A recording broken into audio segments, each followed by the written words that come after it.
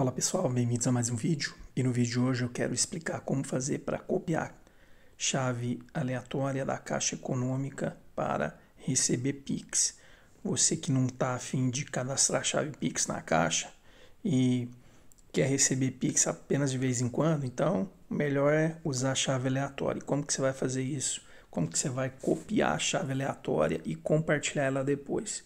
Vamos lá, vou abrir aqui o app da Caixa, vou acessar minha conta da Caixa pelo celular. Ok, fiz aqui o login na minha conta da Caixa, estou aqui no aplicativo e para me copiar a chave aleatória e depois compartilhar ela, eu vou selecionar aqui na página inicial a opção Pix, eu vou clicar aqui em Pix. Aí é o seguinte, eu vou selecionar minhas chaves e gerenciar. Aí, abrindo essa página aqui, eu vou copiar a chave manualmente. Eu vou clicar aqui sobre ela e copiar.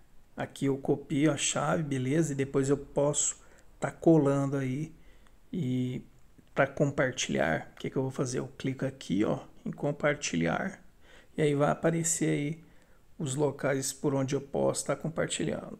WhatsApp, Facebook, enfim.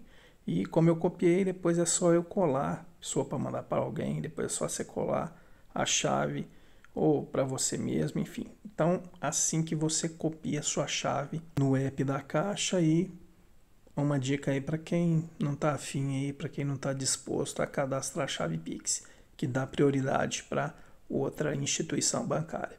Então essa é essa dica aí para quem não sabia. Qualquer dúvida, deixa um comentário aí que eu estarei respondendo.